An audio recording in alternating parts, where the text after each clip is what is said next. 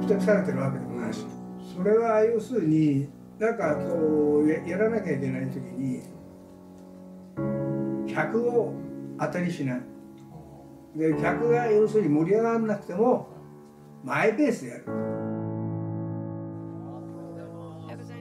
しかし気象がんの進行が仕事の前に立ちはだかります。大量の腹水がたまり激しい痛みに襲われる中それを隠し演技に臨んでいました。ベルトあるベルトベルトますか。うん。いやこれじゃしてないのと同じ。もうちょっともうちょっとうんもうちょっもうちょっといやいやセリフが出ないんだよ。やがて自分の生き方について触れた言葉が多くなっていきました悔いのない綺麗な生き方と戦うっていうことの方がいいかな、今までと違う自分が発見できる。8年前に再婚した萩原さん。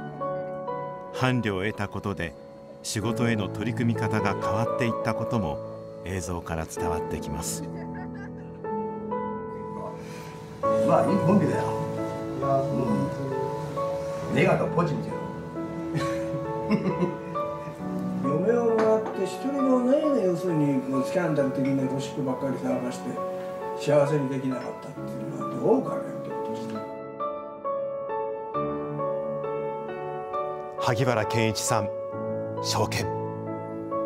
53時間の映像に記録された俳優として生き抜いた日々とは。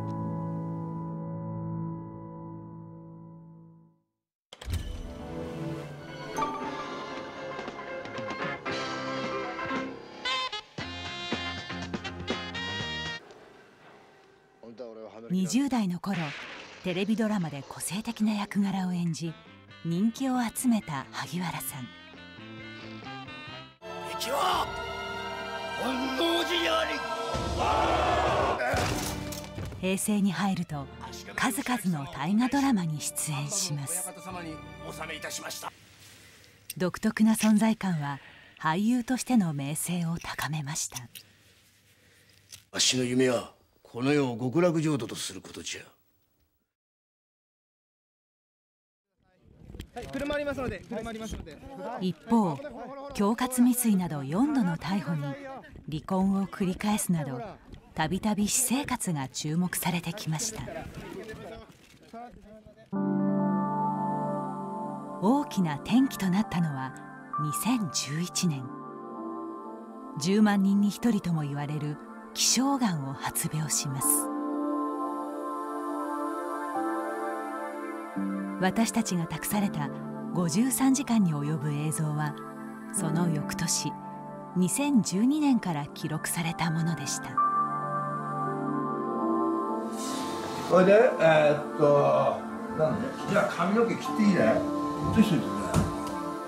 最初に映っていたのは美容室を訪れた映像よし分かった。じゃあ切ろうか。ね。よろしくお願いします。CM 撮影を控えていました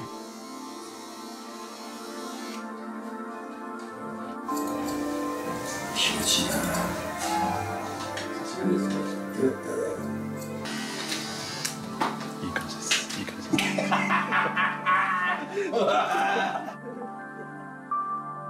希少がんは発病してすぐに手術で取り除き現場復帰できましたはい。美味しいウイスキーを飲みに来ましはい、カット。はい。いいですね。オッケー。よ。挨拶がないスタッフに対し声を荒げる場面も何言ってんつうだ仕事するんだから。はい。ちょっと挨拶ぐらいしねえか？わかりました。ちょっとじゃあ。しっかりしろよ、本当によ。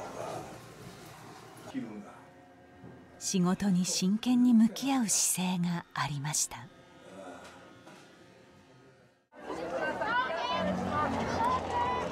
トラブルメーカーとして言われるけれどそばにいる人よりもブラウン管の外にそこに届けばいいと思うから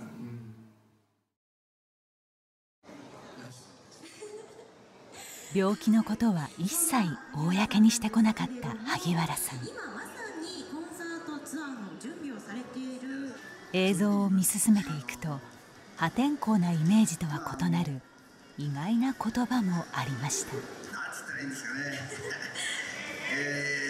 えー、尊敬だんだんだんだん僕60過ぎますとね、はい、幸せってなんだっていうことが健康第一であのー、なんですかね、えー、あまり、えー、惑わされないように私も社会貢献していきたいと思います、えー、ぜひともそのためには私自身も、えー、過ちを起こしました。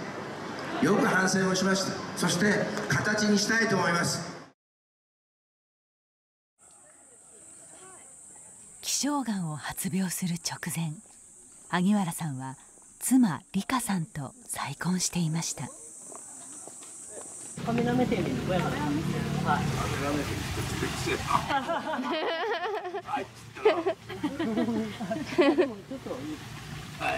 んまりクールすぎない。はい、行きますよ。この日は雑誌の撮影。尊敬できるパートナーに出会えたと語っていました。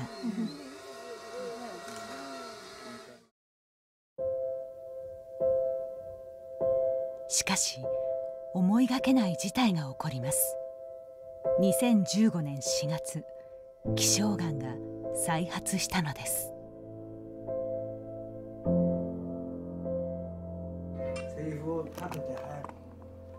53時間の映像の中ではその時の衝撃が語られていました。出版社が行ったインタビューを妻の理香さんが記録していたのです。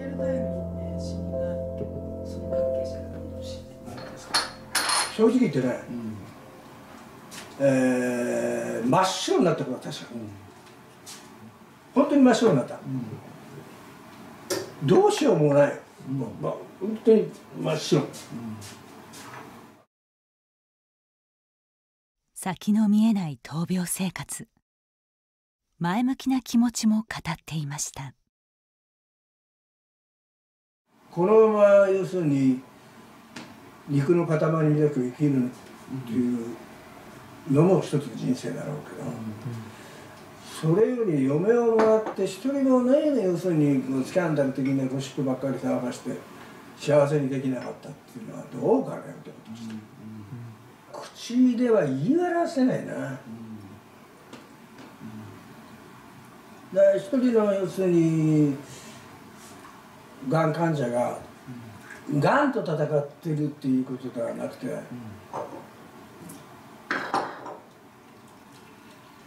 人生において悔いのない綺麗な生き方と戦うっていうことの方がいいかな。萩原さんは病気の再発が分かった後それまで以上のペースで俳優としての活動に力を入れていきます。吉田茂を演じた時には口にマウスピースを入れた演技で注目を集めましたマウスピース作ったら喋れねえんだよ。丸々1か月あるからどうする？あとは訓練するから、はい。一日45時間やったからな。それで馴染むんだよ。喋れるちゃんと、去年萩原さんは一本のドラマの出演オファーに引きつけられました。ラグビーに打ち込む余命わずかながん患者を演じてほしいというのです。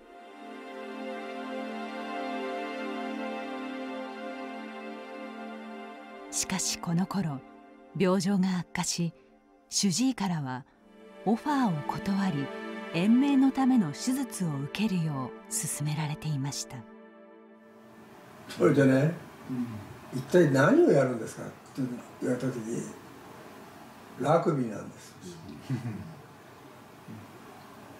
そ したら約で23分の沈黙があったんですよ、長かったんですよ、医者が、危ないの、それは自殺行為ですよ、